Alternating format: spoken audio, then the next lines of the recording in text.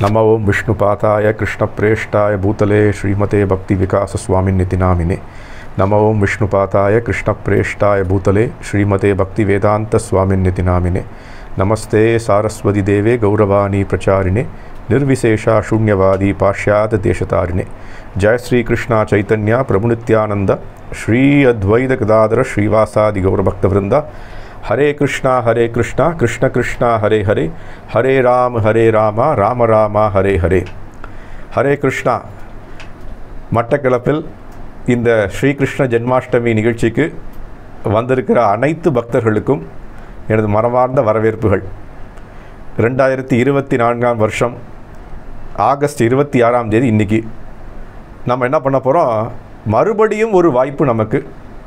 ஸ்ரீகிருஷ்ணருடைய புனிதமான அவருடைய பிறந்த நாள் அவதார நாளை கொண்டாடுவதற்கான ஒரு அரிய வாய்ப்பு நமக்கு இன்றைக்கி கிடச்சிருக்கு. நீங்கள் எல்லாரும் வந்திருக்கீங்க. வெவ்வேறு இடங்கள்லேருந்து வந்திருப்பீங்கன்னு நினைக்கிறேன். ரொம்ப ரொம்ப சந்தோஷம். கிருஷ்ணனை திருப்திப்படுத்துறதுக்காக எல்லாரும் வந்திருக்கோம். மிகப்பெரிய திருவிழா இது. இந்த மிகப்பெரிய திருவிழாவிற்கு என்ன பண்ணியிருக்கோம் எல்லாரும் வந்திருக்கோம். வெவ்வேறு இடங்கள்லேருந்து நம்மளுடைய வேலைகளாக இருந்தாலும் பரவாயில்லை. இன்றைக்கி கிருஷ்ணர் தான் முக்கியம் கிருஷ்ணர் தான் முழு முதற் கடவுள். அவருடைய அவரை திருப்திப்படுத்துவதற்காக நம்ம எல்லாரும் இங்கே வந்திருக்கோம். அப்போ என்ன காரணம் இப்போ இன்றைக்கி பார்க்குறோம் அவருடைய பிறந்த நாள் அவதார நாள்னு சொல்லலாம். அவருடைய பிறந்த நாள் இன்றைக்கி எக்கச்சக்கமான நபர்களுடைய பிறந்த நாள் கொண்டாட்டங்கள் நடக்குது. இல்லையா? ஒவ்வொரு இடங்களிலும் அவர் வந்து தலைவராக இருக்கலாம் அரசியல் தலைவராக இருக்கலாம் ஜாதி தலைவராக இருக்கலாம் அல்லது ஒரு கம்பெனிக்கு தலைவராக இருக்கலாம் நாட்டினுடைய தலைவராக இருக்கலாம் அல்லது மனித இனத்திற்கே தலைவராக இருக்கலாம். ஆனாலும் கிருஷ்ணருடன் ஒப்பிட முடியாது. கிருஷ்ணர் யார்? புருஷோத்தமராகிய முழுமுதற் கடவுள்னு சொல்கிறோம் அப்போ அனைத்து ஜீவராசிகளுக்கும் அனைத்து ஜீவராசிகளுக்கும் மனிதன் மட்டும் இல்லை அனைத்து ஜீவராசிகளுக்கும் அவர்தான் தந்தை. அகம்பீஜ பிரதபிதாக அப்போ நம்மளுடைய தந்தையினுடைய பிறந்த நாள் கொண்டாட்டங்களுக்கு நம்ம எல்லாரும் ஒன்று கூடியிருக்கோம்.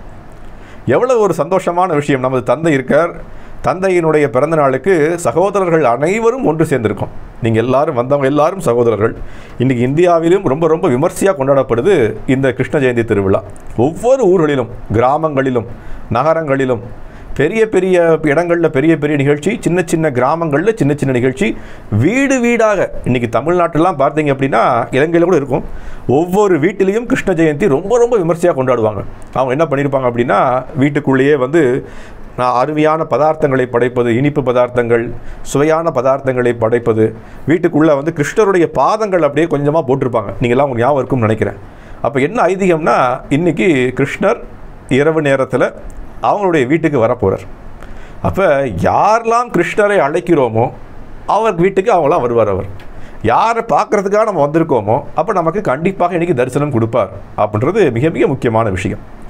அடுத்த விஷயம் என்ன அப்படின்னா எவ்வளோ வருஷங்கள் ஆச்சு கிருஷ்ணர் வந்து அவரே ஸ்வயம் இங்கே இந்த உலகத்தில் இருந்தது கிட்டத்தட்ட ஐயாயிரத்தி இரநூற்றி ஐம்பத்தி ஒரு வருஷம் ஆச்சு. அவர் பிறந்து இன்றைக்கி இன்னைக்கு வந்து என்ன கொண்டாடுறோம் நம்ம? ஐயாயிரத்தி இரநூற்றி ஐம்பத்தி இரண்டாவது பிறந்த நாளை கொண்டாடுறோம். அப்போ ஐயாயிரம் வருஷம் ஆச்சு. நீ உதாரணத்துக்கு ஒரு நூறு வருடத்திற்கு பழமையான நபர் யாராவது இருக்காங்களோ அவங்களுடைய பிறந்த நாளை கொண்டாடுறோம் நம்ம? கொண்டாடுவதில்லை. நிறைய பேரை மறந்துட்டோம். ஏன் ஒரு ஆயிரம் வருஷம்? ஏன் ஒரு இரண்டாயிரம் வருஷம்?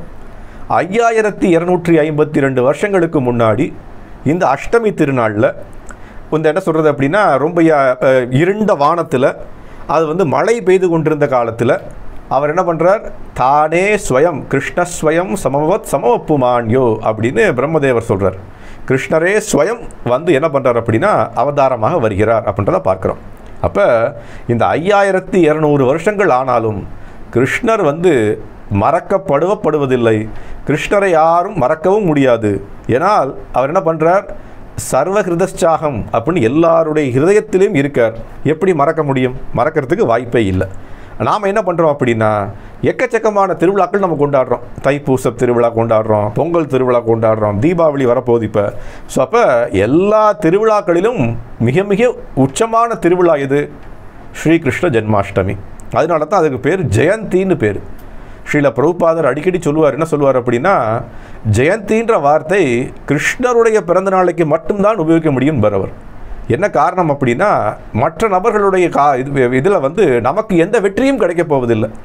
ஒரு தலைவருடைய பிறந்தநாள் கொண்டாட்டத்துக்கு நமக்கு என்ன வெற்றி கிடைக்க போகுது?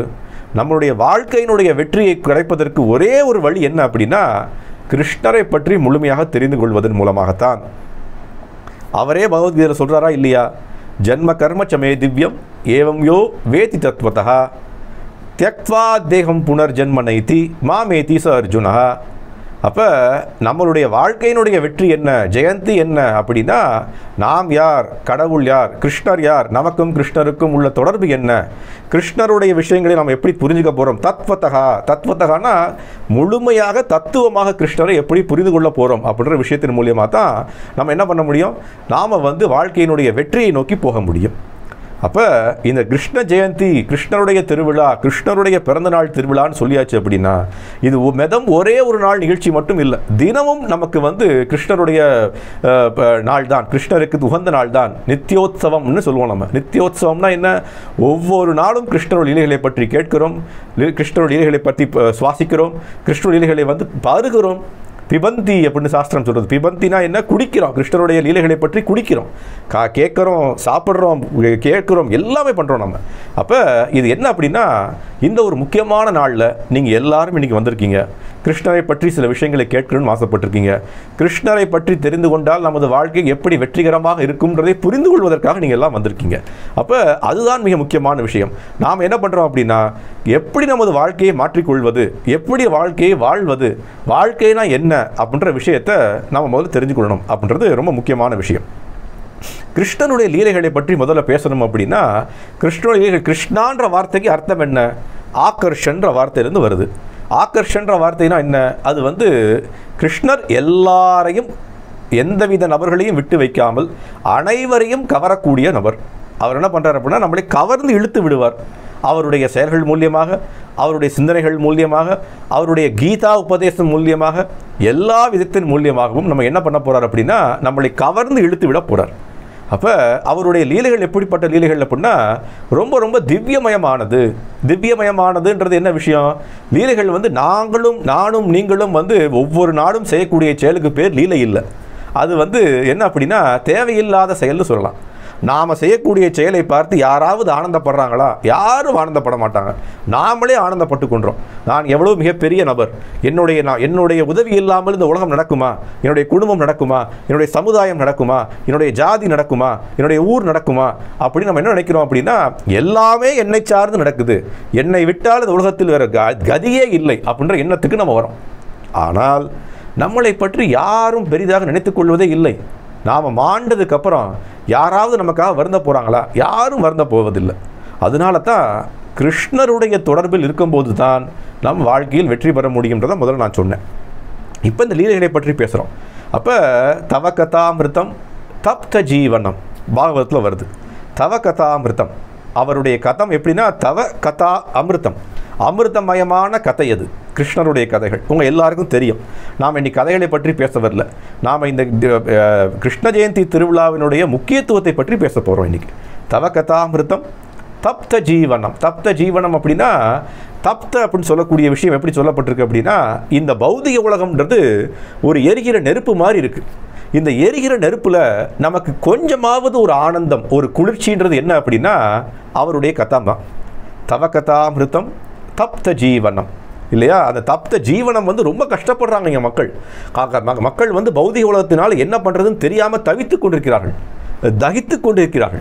அப்போ அதற்கு ஒரே ஒரு விடிவு காலம் விடிவு என்ன அப்படின்னா தவ அமிர்தம் இல்லையா? அதே மாதிரி என்ன? தப்த ஜீவனம். அதே மாதிரி அடுத்த வரி என்ன வருது அப்படின்னா இப்போ புவி கிரணந்தியே பூரித ஜனா புவி கிரணந்தியே பூரித ஜனானா என்ன அர்த்தம்? இந்த உலகம் முழுக்க புவின்னு சொல்லக்கூடிய வார்த்தை தமிழ்லேயும் இருக்குது புவி உலகம்.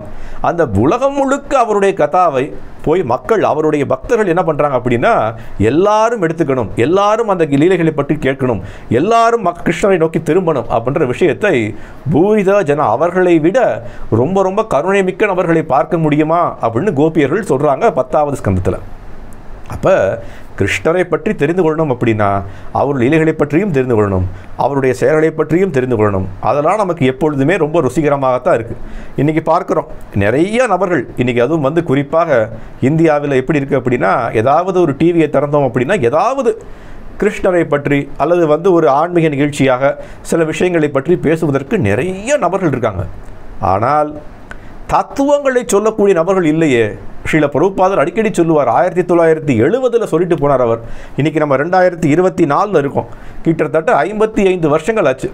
அவர் என்ன சொல்லிட்டு போனாரோ அது இன்றைக்கும் உண்மையாகத்தான் இருக்குது என்ன உண்மை? நாம் என்ன பண்ணுறோம் அப்படின்னா எக்கச்சக்கமான நபர்கள் வந்து நமக்கு லீலைகளை பற்றி சொல்கிறார்கள் ராசலீலையை பற்றி சொல்கிறார்கள் கிருஷ்ணர் விளையாண்ட விளையாட்டை பற்றி சொல்கிறார்கள். ஆனால் அவர் சொன்ன தத்துவத்தை ஏன் யாரும் சொல்லுவதில்லை?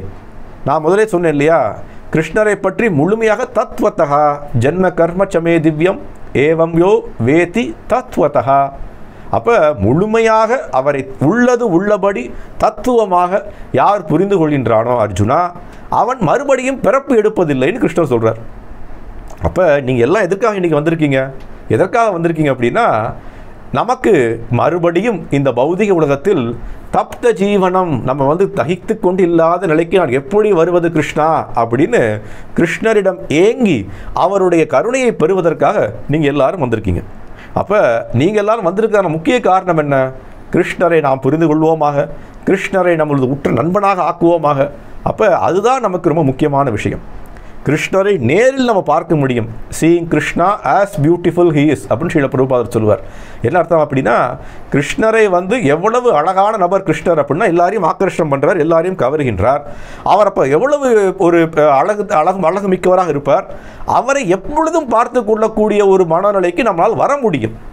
நாம் அதுக்கு தயார்படுத்தி கொள்ள வேண்டும். அதான் ரொம்ப முக்கியமான விஷயம். அந்த மாதிரி ஒரு நபரை பார்க்கும்போது நமக்கு என்ன இருக்கும் அப்படின்னா ஆத்ம சாந்தி ஏற்படும்.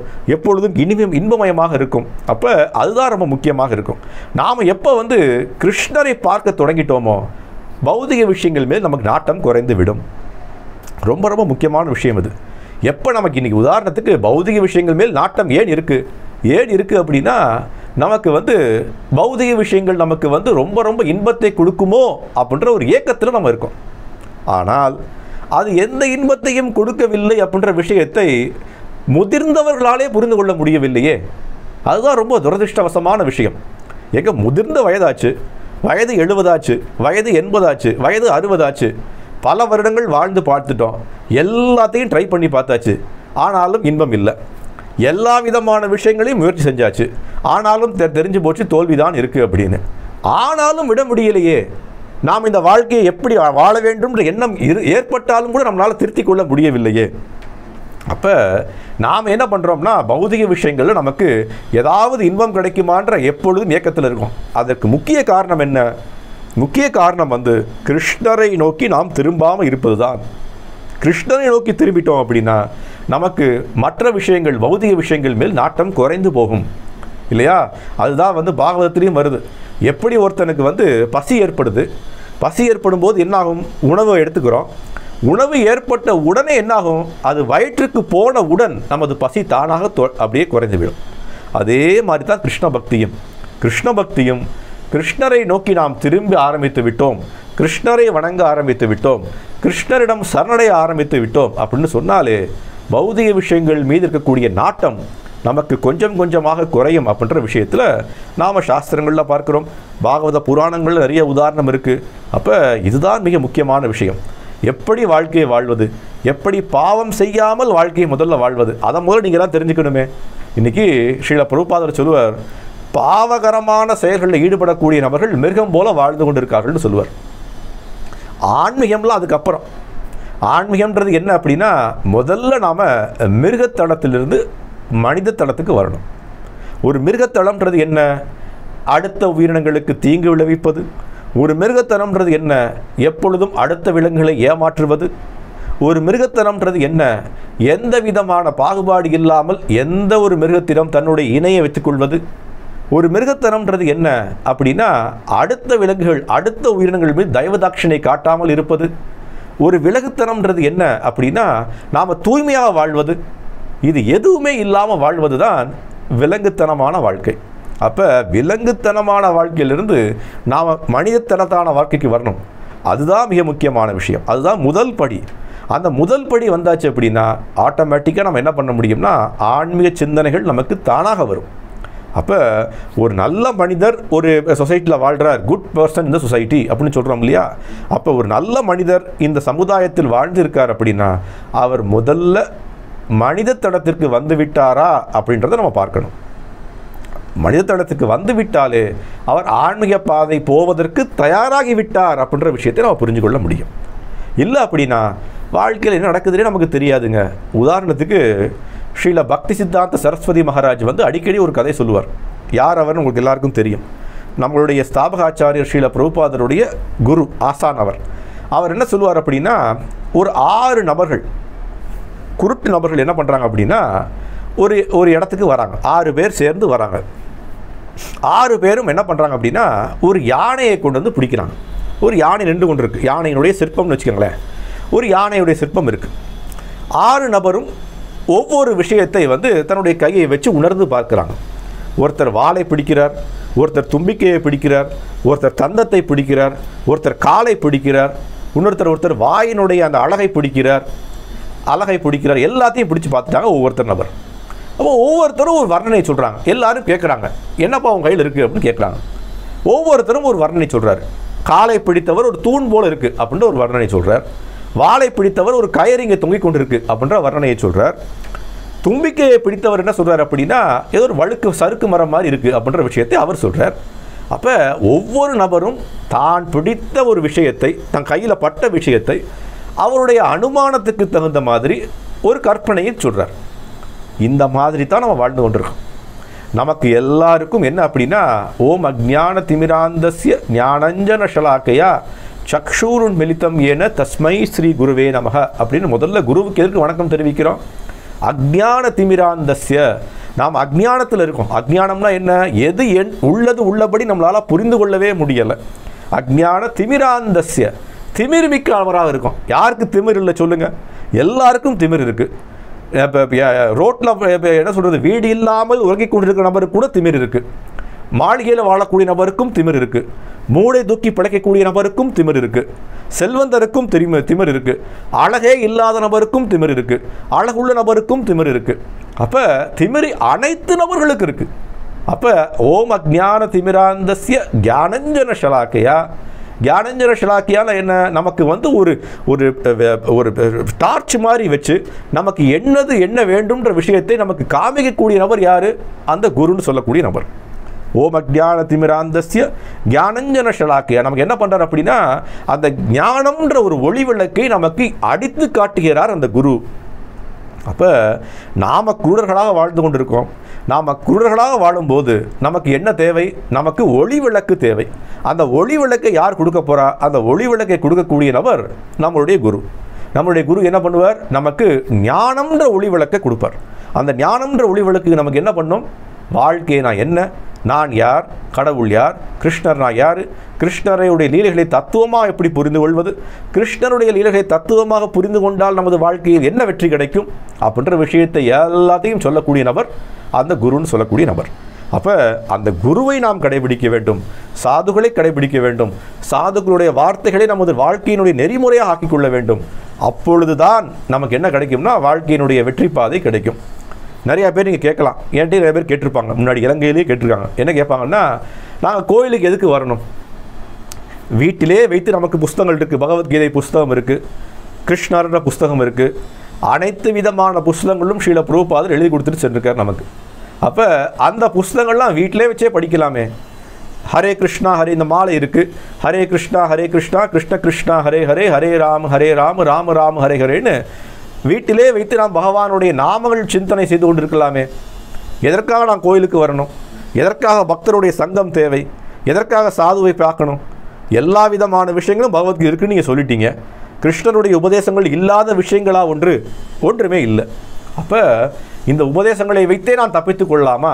அப்படின்ற கேள்வி வரலாம். அப்போ பதில் என்ன அப்படின்னா நாம் நினைக்கிற மாதிரி ஒரு புஸ்தகத்தை வைத்துக்கொண்டு ஸ்ரீல பிரபுபாதர் கொடுக்கக்கூடிய உதாரணம் என்ன அப்படின்னா நாம் வந்து கல்லூரிக்கு போகிறோம் இன்றைக்கி வந்து ஒரு மருத்துவர் ஆகணும். மருத்துவருக்கு தேவையான ஐந்து வருடங்களுக்கான பாட புத்தகம் எல்லாம் கடையில் இருக்குது நீங்கள் ஒரு கடைக்கு போனீங்க அப்படின்னா அதில் ஆன்லைனில் இன்றைக்கி எல்லாம் இருக்குது ஆன்லைனில் போய் நீங்கள் பார்த்தீங்க அப்படின்னா உங்களுக்கு கிடைக்க வேண்டிய எல்லா புஸ்தகங்களும் கிடைத்திடும். அந்த புஸ்தகங்களை நீங்கள் வீட்டில் வச்சு ஒரு நாளும் இரண்டு நாள் மூன்று நாள் அப்படின்னு ஐந்து வருஷங்களாக படித்து வந்தீங்கன்னா நீங்கள் மருத்துவராக முடியுமா? நீங்கள் வேணால் சொல்லிக்கலாம் நான் மருத்துவர் நான் புத்தகங்களை படித்து விட்டேன் அப்படின்னு. ஆனால் உங்களை மருத்துவன்ற அத்தாட்சி யாரும் கொடுக்க மாட்டாங்க. அதற்குத்தான் என்ன பண்ணுறோம் ஒரு ஆத்தரைஸ்ட் யூனிவர்சிட்டின்னு இருக்குது அல்லது அங்கீகரிக்கப்பட்ட கல்லூரின்னு ஒன்று இருக்குது அந்த கல்லூரிக்கு போய் நம்ம என்ன பண்ணுறோம் அப்படின்னா நம்மளுடைய விஷயங்களை பார்க்கிறோம் படிக்கிறோம். நம்மளுடைய ஆசான்கள்னு சொல்லக்கூடிய நம்மளுடைய ஆசிரியர்கள் என்ன பண்ணுவாங்க நமக்கு? எதை எப்படி புரிந்து கொள்ளணுன்ற விஷயத்தை நமக்கு சரியாக சொல்லிக் கொடுப்பார்கள். அப்போ அதுதான் ரொம்ப முக்கியமான விஷயம். இன்றைக்கி வந்து எந்த நாட்டில் இருந்தாலும் சரி நமக்கு தேவை யார்? ஒரு குரு. எந்த நாடு? இன்றைக்கி உதாரணத்துக்கு இலங்கையில் நீங்களாம் இருக்கீங்க. என்ன குறை நமக்கு? பகவானுடைய போதனைகள் குறையாக இருக்கா? அல்லது வந்து பக்தருடைய சங்கம் கம்மியாக இருக்கா? அல்ல பக்தருடைய சங்கத்தினுடைய பக்தருடைய சங்கத்தின் மூலியமாகவும் நம்மளால் முன்னேற முடியலன்னு யாருக்காவது குறை சொல்ல முடியுமா? யாராலையும் சொல்ல முடியாது. எந்த நாட்டில் இருந்தாலும் சரி நாம் பக்தருடைய சங்கத்தை நாட வேண்டும். ஒன்று கூலி வாழ்ந்தோம் அப்படின்னால் நமக்கு என்ன தெரியும் அப்படின்னா நம்மளுடைய குறைகளை அவர் நிவர்த்தி செய்வார். அவருக்கும் நாம் கைகோர்த்து ரெண்டு பேரும் வந்து பகவானுடைய பாதையை நோக்கி செல்ல முடியும் அப்படின்ற விஷயத்தை இன்றைக்கி நான் வந்து உங்கள் எல்லாருக்கும் தெரிவிக்கணும்னு ஆசைப்பட்றேன். ரெண்டாவது என்ன விஷயம் அப்படின்னா நாம் கோயில்களுக்கு வரோம். கோயில்களுக்கு வந்ததுக்கப்புறம் என்ன பண்ணுறோம் பகவானுடைய விஷயங்களை பற்றி கேட்க போகிறோம் ஆனால் முதல்ல நம்ம நம்மளை தயார்படுத்தி கொள்ளணுமே. இரண்டாவது விஷயம் இன்றைக்கி நான் சொல்ல விருப்பப்பட்ட விஷயம் என்ன அப்படின்னா கிருஷ்ணருக்கு நாம் என்ன செஞ்சுருக்கோம்? இந்த கேள்வியை நீங்கள் எல்லாரும் கேட்கணும். கிருஷ்ணருக்கு நாம் என்ன செஞ்சுருக்கோம்? இப்போ உதாரணத்துக்கு வச்சுப்போமே. கிருஷ்ணருக்கு நாம் என்ன செஞ்சுருக்கோன்ற கேள்வியை எப்படி புரிஞ்சுக்கிறது? கிருஷ்ணர் நமக்கு என்ன செஞ்சுருக்கார்? அப்படின்ற கேள்வியை முன்னாடி வச்சு பார்ப்போம். நமக்கு இன்றைக்கி எல்லாரும் நீங்கள் வந்திருக்கீங்க. உங்களுடைய உடலை கொடுத்தது கிருஷ்ணர். உங்களுடைய சுவாசத்திற்கு காற்றை கொடுத்தவர் கிருஷ்ணர். கொரோனா காலத்தில் பார்த்தோம். எல்லாருக்கும் ஆக்சிஜன் மாஸ்க் தேவைப்பட்டது. உலகம் முழுக்க ஆக்சிஜன் இருக்குது ஆனால் அந்த ஆக்சிஜனால் அவங்களால வந்து சுவாசித்து வாழ முடியலை. அப்போ அந்த ஆக்சிஜனை என்ன பண்ணுறோம் அப்படின்னா அந்த ஆக்சிஜனை நாம் வந்து வெளியில் வந்து செயற்கையாக பொருத்தி அதை எடுத்து சுவாசித்து கொண்டு வாழ்ந்தோம். அப்போ நமக்கு வாழ்வதற்கு அவர் வந்து ஆக்சிஜனையும் கொடுக்குறார். சுவாசத்தையும் கொடுக்குறார். நமக்கு உடலையும் கொடுத்துருக்கார். இன்றைக்கி எல்லாரும் நீங்கள் சில பேர் வந்து இன்றைக்கி வந்து உபவாசம் இருந்து இருப்பீங்க சில பேர் உணவு எடுத்திருப்பீங்க. இந்த உணவை யார் கொடுத்தார்? அவர் தான் கொடுத்தார். நம்மளுடைய கா பணம் நம்ம நிறைய பணம் சம்பாதிச்சு வச்சுருக்கோம் செல்வந்தராக இருக்கோம்.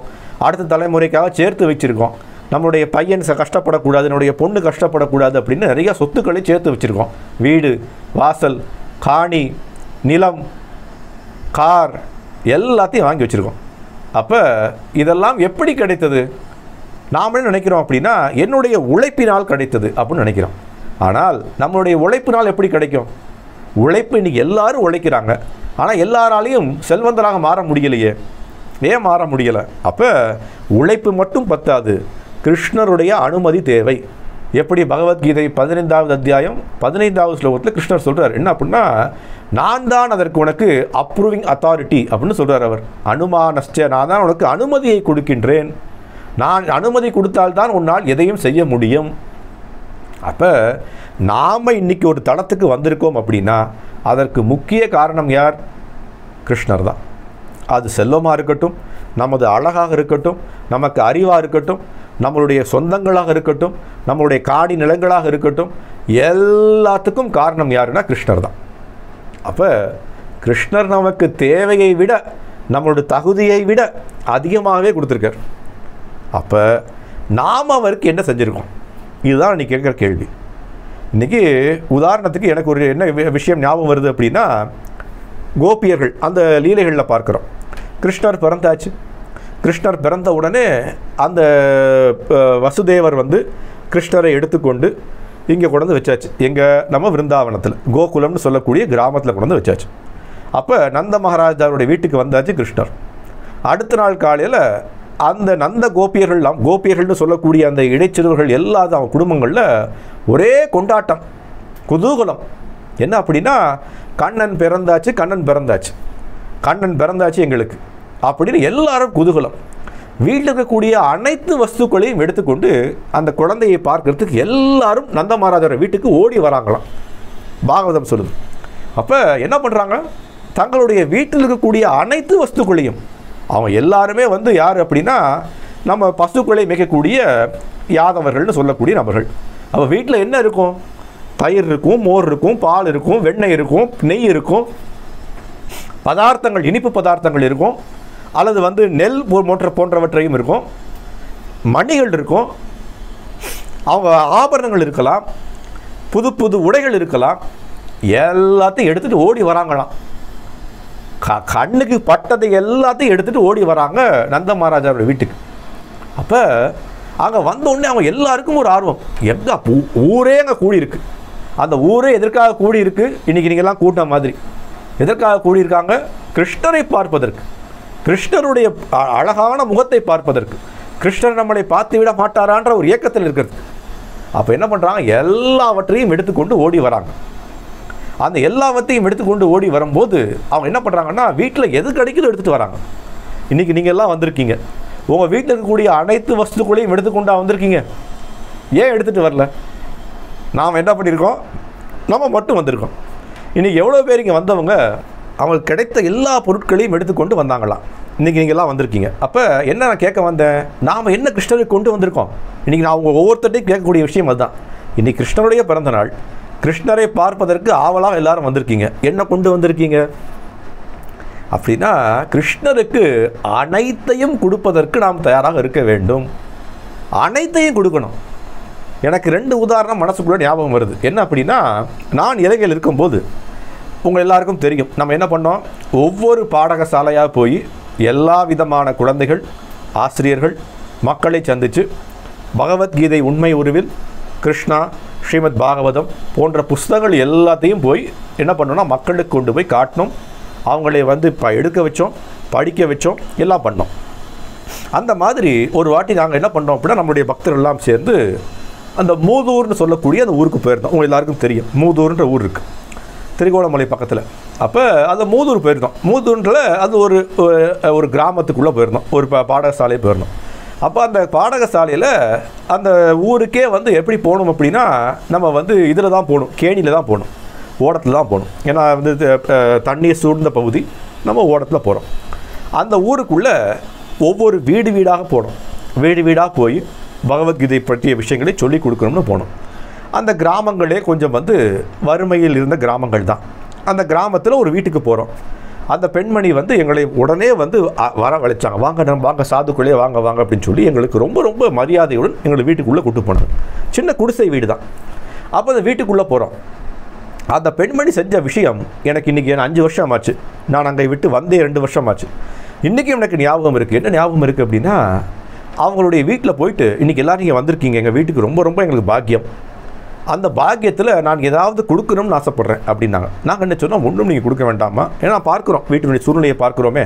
ஒன்றும் நீங்கள் கொடுக்க வேண்டாம். கிருஷ்ணனுடைய பாதையை எடுத்துக்கொள்ளுங்கள் கிருஷ்ணனுடைய போதைகளை வாழ்க்கையில் நெறிமுறையாக வைத்துக் கொள்ளுங்கள். மாமிசத்தை சாப்பிடுவதை நிறுத்திக் கொள்ளுங்கள். அப்படின்ற விஷயத்தெல்லாம் நம்ம சொல்கிறோம் நம்ம. அந்த பெண்மணி என்ன செஞ்சாங்க அப்படின்னா என் வீட்டில் இருக்கக்கூடிய அனைத்து வசதியும் உங்களுக்கு நான் கொடுக்கணும்னு ஆசைப்பட்றேன் அப்படின்னு சொல்லி அவன் வீட்டில் இருந்த அந்த பானை எடுத்துகிட்டு வந்தாங்க. பானைக்குள்ளே ஒரு ஒரு படி அரை படி அரிசி இருந்தது. அந்த பெண்மணிக்கு அன்றைக்கி இருக்கிற சொத்து அதுதான் சொத்து. ஒரு அரைப்படி நெல் அல்லது அரிசின்னு சொல்லக்கூடிய வஸ்து. அதை அனைத்தையுமே என்கிட்ட கொடுக்கறதுக்கு தயாராக இருந்தாங்க அவங்க அந்த பெண்மணி. நான் என்ன பண்ணேன்? எனக்கு புரிந்துவிட்டது. நான் அந்த நெல்லிலிருந்து அந்த அரிசியிலிருந்து ஒரே ஒரு அரிசி ஒரு அரிசி மணின்னு சொல்லுவோம் இல்லையா? அந்த அரிசி மணியை மட்டும் அவங்க சொன்னதுக்காக எடுத்து விட்டு நான் வந்துட்டேன். எதற்காக சொல்கிறோம் அப்படின்னா இன்றைக்கும் நாம் வைத்திருக்கக்கூடிய அனைத்து வஸ்துக்களையும் பகவானுக்கு கொடுக்கக்கூடிய ஒரு மனோபாவம் மக்களுக்கு இருக்கத்தான் செய்யுது. ஆனாலும் நம்ம என்ன பண்ணணும்? நிறைய விஷயங்களை பகவானுக்கு திருப்பி கொடுக்கக்கூடிய மனோபாவத்தை வளர்த்துக்கணும். நாம் சம்பாதிச்ச காசாக இருக்கட்டும் சம்பாதிச்ச நிலமாக இருக்கட்டும் பகவானுக்கு திருப்பி கொடுப்போமே அவர் நமக்கு பன்மடங்கு அதிகமாக கொடுப்பார். உங்களுக்கு ஏதாவது சந்தேகம் இருக்கா? பகவான் கொடுக்க மாட்டான்ற சந்தேகம் யாருக்காவது இருக்கா? நான் உடனே சொல்கிறேன் உங்களுக்கு. கிருஷ்ணர் பிறந்து இரண்டு மூன்று வருடங்கள் ஆச்சு. அவர் வந்து இப்போ எல்லா லீலையும் செய்து கொண்டிருக்கின்றார். ஒரு நாள் என்ன ஆச்சு அப்படின்னா அவருடைய வீட்டு வாசலில் ஒரு பழங்கள் இருக்கக்கூடிய ஒரு பெண்மணி வயதான பெண்மணி பழங்களை விற்றுக்கொண்டே வரார். பழங்கள் பழங்கள் பழங்கள்னு சொல்லிக்கொண்டே வரார் அவர். அந்த பெண்மணி வந்த உடனே கிருஷ்ணர் என்ன பண்ணுறார் அப்படின்னா வீட்டுக்குள்ளே விளையாடி கொண்டிருக்கிறார். சின்ன பையன் இரண்டு ஒரு வருடு ஒரு வயசு இரண்டு வயசு ஆச்சு. அந்த இரண்டு வயது சிறுவன் என்ன பண்ணுறார் அப்படின்னா வீட்டில் இருக்கக்கூடிய என்ன பண்ணுறாங்க அப்படின்னா ஏதோ ஒரு நெல் பையில் எடுத்துகிட்டு ஏதோ ஒரு மணிக்கல் எடுத்துட்டு அப்படியே ஓடி வரார். அவங்க அந்த பெண்மணியை பார்ப்பதற்கு. சின்ன கை குழந்தையோட கை எவ்வளோ பெருசாக இருக்கும் அந்த கையில் எவ்வளவு நெற்கதிர்கள் வைக்க முடியும்? ஒரு பத்து நெற்கதிர்கள் இருபது நெற்கதிர்கள் எவ்வளோ இருந்தது கையில்? அதை கொண்டு வர வழியிலேயே எல்லாம் அப்படியே ஒளி கொண்டே வருது. ஒவ்வொரு நெற்கதிராக உளுந்து கொண்டே வருது. அந்த பெண்மணியை பார்த்த உடனே அந்த குழந்தை வந்து கேட்குது எனக்கு ஏதாவது பழம் தர முடியுமா? அப்படின்னு கேட்குது. அந்த பெ பெண்மணிக்கு அவ்வளவு ஆர்வம். கிருஷ்ணரை பார்த்த உடனே உனக்கு எந்த பழங்கள் வேணால் எடுத்துக்கொண்டு செல்பா அப்படின்னு சொல்லி அந்த கூடையே எடுத்து வைக்கிறாங்க அவங்க. அந்த சிறுவன் என்ன பண்ணுறாரு அப்படின்னா கிருஷ்ணர் குழந்தை அவன் என்ன பண்ணுறான் என்கிட்ட ஒன்றுமே இல்லை. இந்த நெற்கதிர்கள் தான் இருக்குது அப்படின்னு அந்த கையில் இருந்த நாலு நெற்களுக்கு கையில் கொடுக்குறார். அந்த இத் சிறிய கையில் ஒரு நான்கு அல்லது ஒரு பத்து நெற்கதிர்களை எடுத்து அந்த பெண்மணியோட கையில் கொடுத்தாச்சு. இப்போ நான் அவங்கள்ட்ட கேட்குறேன். ஒரு வியாபாரியாக இருக்கீங்க. ஒரு பத்து நெற்கதிருக்கு நீங்கள் என்ன கொடுப்பீங்க? யாராவது ஒரு வாழைப்பழமாவது கொடுப்போமா? இன்றைக்கி இருக்கிற இன்றைக்கி இருக்கிற விலைவாசியில் கொடுக்க மாட்டோம். இன்றைக்கி இருக்கிற விலைவாசியில் எதையுமே கொடுக்க முடியாது. அந்த பெண்மணி என்ன செய்கிறாங்க அப்படின்னா எல்லா கூட இருக்கக்கூடிய அனைத்து பழங்களையும் நீயே எடுத்துக்கொண்டு செல் கிருஷ்ணா அப்படின்னு சொல்கிறான் கிருஷ்ணர் என்ன சொல்கிறார் அப்படின்னா எனக்கு கூடை தேவையில்லை பழங்கள் மட்டும் தேவைன்றார் அவர். ஸோ எவ்வளவு அந்த இரண்டு வயது சிறுவனால் பழங்களை எடுத்து செல்ல முடியுமோ அவ்வளவு பழங்களை எடுத்து அடுக்குகிறாள் அந்த பெ- பெண்மணி. உடனே கிருஷ்ணர் என்ன பண்ணுறார் ஒரு பார்வை அந்த கூடையில் பார்த்துட்டு உள்ளே போயாச்சு. பெண்மணிக்கு அவ்வளவு ஆனந்தம். எனக்கு வந்து எந்தவித பணமும் கிடைக்கல எந்தவித பொருட்களும் கிடைக்கல. ஆனாலும் இந்த எல்லா வஸ்துக்களும் கிருஷ்ணருக்கு கொடுத்ததற்கான ஒரு ஆத்ம சந்தோஷம் அந்த பெண்ணுக்கு இருந்தது. அவள் அந்த கூடை எடுத்துக்கொண்டு வீட்டில் கொண்டு போய் வைக்கிறாள் வீட்டில் பார்த்தா அந்த கூடை முழுக்க வந்து வைடூரியங்கள் தங்கம் மணி மணிகள்னு சொல்லக்கூடிய எல்லா ஆபரணங்களாக நிரம்பி இருக்கு. அப்போ கிருஷ்ணர் யாருக்காவது கொடுக்கணும்னு ஆசைப்பட்டால் நீங்களும் நானும் யோசிக்க கூட முடியாத அளவுக்கு கொடுப்பார்.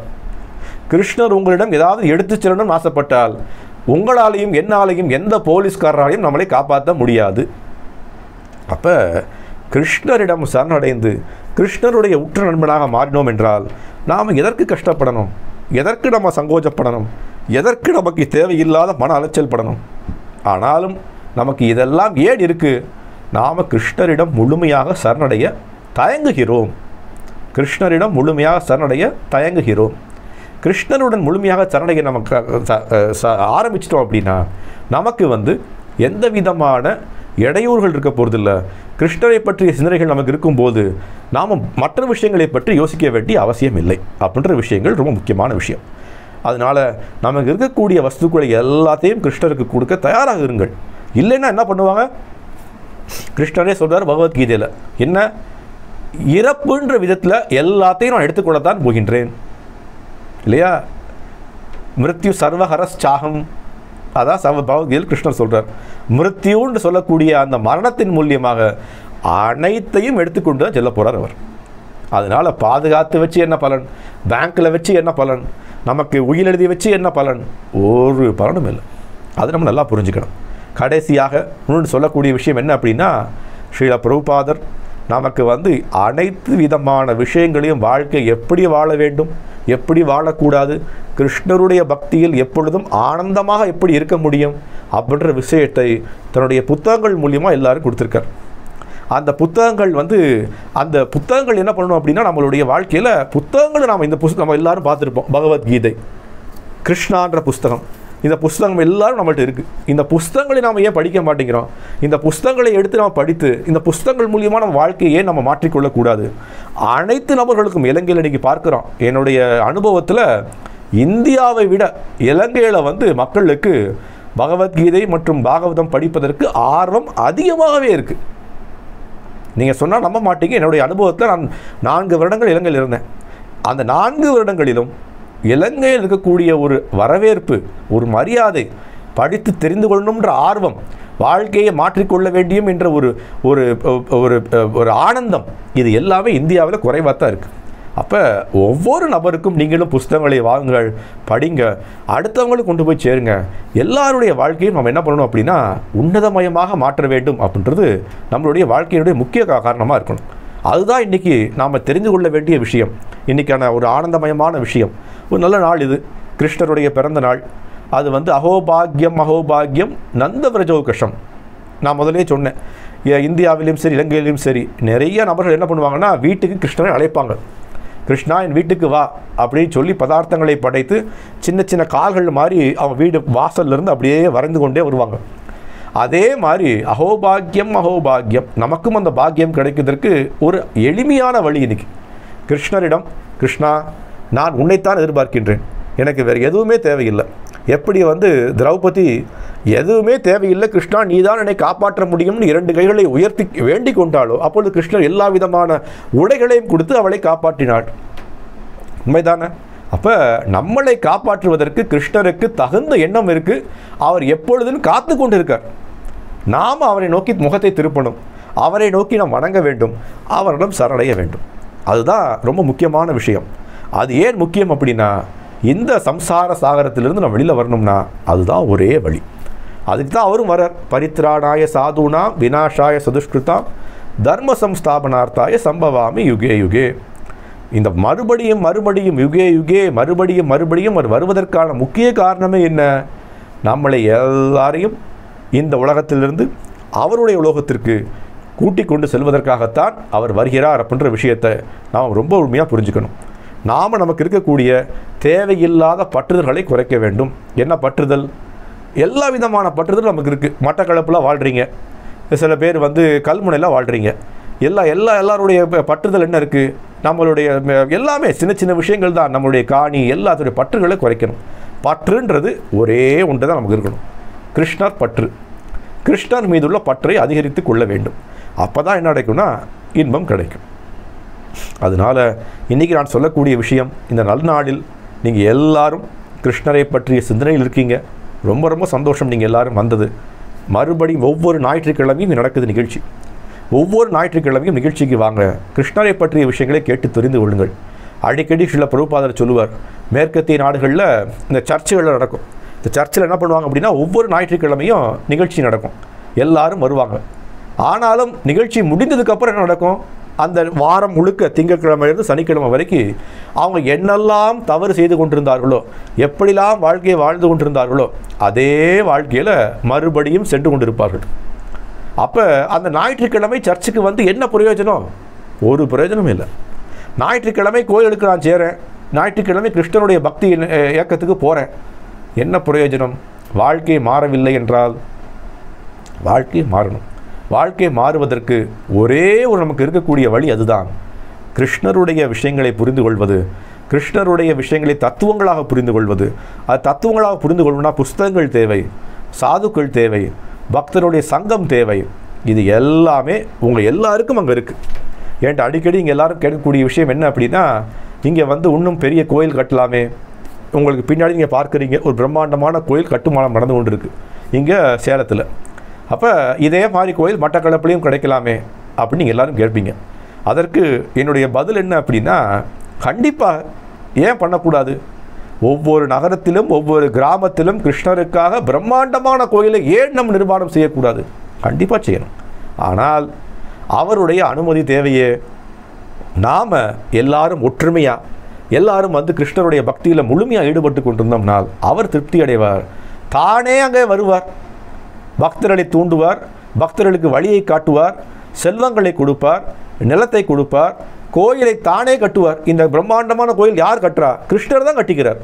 நாங்கள்லாம் வெறும் ஒரு ஒரு என்ன சொல்கிறது எப்படி கிருஷ்ணர் பகவத்கீதையில் சொன்ன மாதிரி நிமித்த மாத்திரம் பவ சவ்ய சாட்சி நம்மெல்லாம் ஒரு நிமித்த மாத்திரம் தான் அவர் கட்டிக்கொள்கிறார் அவர் செய்து முடிக்கின்றார். நாங்கெல்லாம் பார்த்து இப்படி கை கட்டி பார்த்து வியந்து கொண்டிருக்கோம். அவ்வளவுதான் விஷயம். அப்போ மட்டக்களப்பு என்ன? கல்முனையிலையும் பண்ண முடியும். திருகோணமலையிலையும் பண்ண முடியும். திருக்கோயிலூர்லேயும் பண்ண முடியும். எல்லா ஊர்களிலும் பண்ண முடியும். நீங்கள் எல்லாம் ஒற்றுமையாக இருக்கணும்.